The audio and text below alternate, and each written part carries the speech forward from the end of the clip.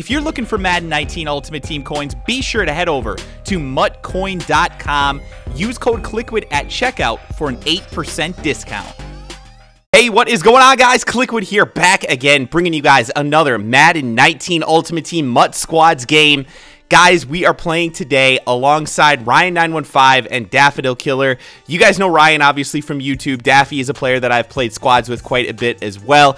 And uh, today we're matched up against a group of guys who I think play together pretty regularly. They had some really nice offensive plays, and uh, they actually lit up our defense a lot more than most people do. Now, granted, some of it was like that, like you just saw, where they threw directly at Ryan's user, and for some reason he didn't get an animation. But either way, they still put some points on the board in this game. So this is a pretty entertaining one. I think you guys are going to enjoy it. Some crazy stuff happens in this one as I come off the edge there, hit the quarterback while he's throwing. That maybe should have been a fumble based on where the ball landed, but what are you going to do?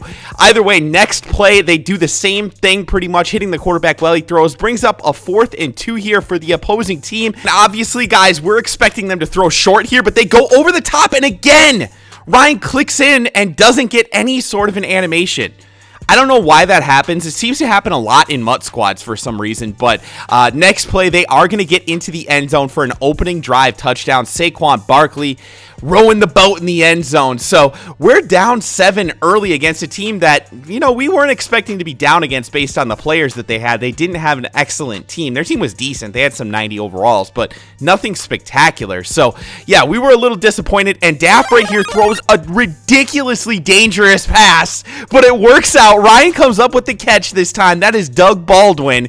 Yeah, contested catch master, Doug Baldwin. Who knew that? So he comes up with a big touchdown. We get bailed out. They got bailed out on the first drive, so we'll take it. 7 to 7 pretty much acts like the first drive didn't happen, and right there, Jalen Ramsey with an unbelievable interception. I don't think I've seen that animation in this game. And that was just a huge play for our team because now we have a chance to take over and potentially get the lead on this drive. All we have to do, obviously, is come up with three to get a lead on this game.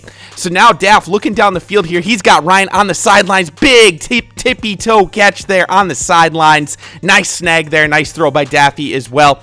Bringing up now a second and 12. Daff's going to look deep into the end zone. Randy Moss cannot come up with it. He apparently doesn't have the clutch catch the traffic in double or catch in double traffic uh, type of uh, animation that Doug Baldwin does. Who knew? So uh, we end up taking the sack there on third and 12. Couldn't find anybody open. And on the ensuing field goal, Daff is going to take a huge L missing that field goal. So he told us that he was experiencing some lag while he was kicking. Now, a lot of times people say that when they miss a kick. Like, that happens all the time.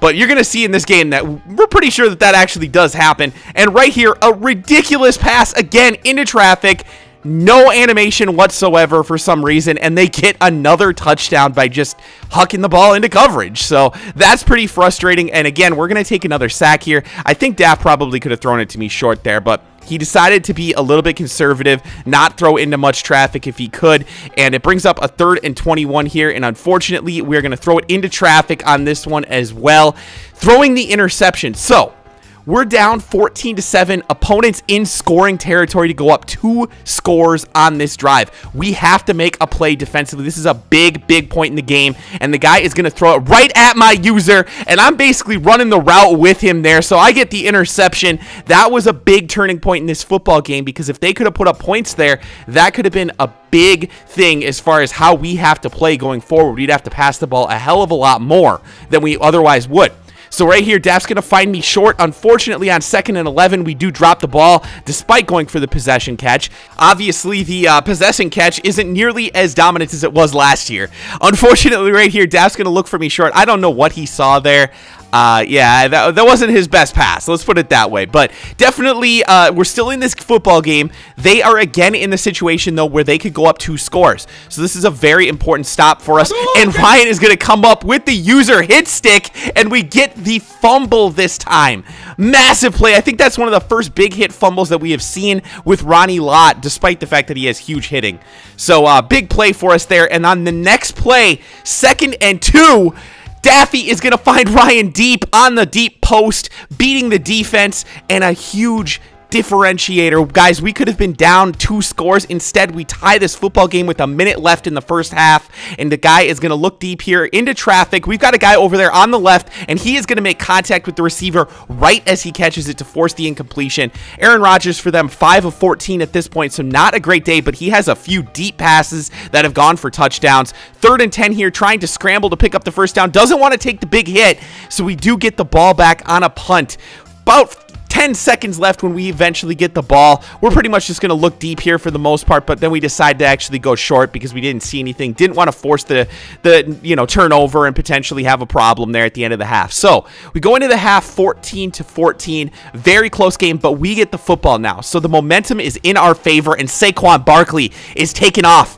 He is going to run over a defender on that play. Nice run there by Saquon, the young boy, picking up the nice first down. Daffy looking down the field here. I am wide wide open, and for some reason, the ball sails right over my head. Aaron Rodgers for us, 5 of 11 at this point, so not much better than what they were doing, but obviously not throwing nearly as many dangerous passes. And another dangerous pass here right into traffic for the other team. 6 of 14 for Aaron Rodgers for them at this point. Not really what you would be looking for, but, you know, it happens in MUT squads. It's hard to complete passes. Third and eight here. They're going to check it down short and just take their field position here with the punt. So we've got the ball at the 31 now, looking to take the lead on this drive. And Daffy is looking deep again. He's got Randy Moss. Can Moss beat the defense deep? Not quite, but he is able to pick up a huge first down for us. Massive pickup there. And again, we've got the football in the red zone. I'm open underneath. I don't know why he forced that pass to Ryan. Uh, uh, squads is so difficult, guys. If you've never played quarterback in MUT squads, if you play a defense that actually knows what they're doing, it is so difficult to move the football. It is just way different than playing standard head-to-head. -head. Very next play, the bait and switch by me and Ryan there. We set that up before the play started. I said I was going to go in and pass rush, and I thought that that would get him to throw the short pass and Ryan could cut it off. He did, and we get the pick in the red zone, nearly a pick six, and now we're trying to get the ball into the end zone. I thought we should have gone for the QB sneak. They decided they want to go with the pitch, and it did not work out, so now we're in a bad situation here after two unsuccessful rushes. Third and goal at the eight yard line. We decided to just go conservative here. Probably could have gotten in there if we didn't spin, but you know that's hindsight 2020. Next play. Come on, you! You're gonna have to sit in the dunce chair. Oh my gosh! Our second missed field goal you have got to be kidding me. Terrible luck for us. And yeah, you see there, I mean, missing field goals from that range usually tells you that there's something up with the meter, that there's like the weird lag that you sometimes get in Madden. And that's what was happening in this game. So at this point, I said, no more field goals. No more field goals for us because we can't afford it if we get into the range. And at this point, I'm not sure it's going to happen because they just picked up a huge gain there, bombing it down the field. That was probably one of their better passes of the game. And right here, we're trying to stop them. We're trying to get them as deep as we can so that they have to kick a long field goal here with a minute 19 left. And right here, they as well are going to miss the field goal. So obviously the the lag effect is hitting both teams here. But we're going to get a chance here at the end of this football game to potentially win this thing. We've got a minute left on the clock. Wow. What a great pass rush there by Jadeveon Clowney to get in there and get the sack.